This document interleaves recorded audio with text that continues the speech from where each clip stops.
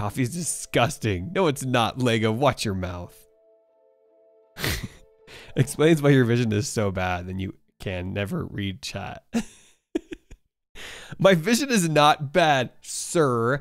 And I'll have you know, I get plenty of beta carotene because I take a, a uh, I take a multivitamin that's very good for me with lots of beta carotene and other eye stuff that helps with eye things. So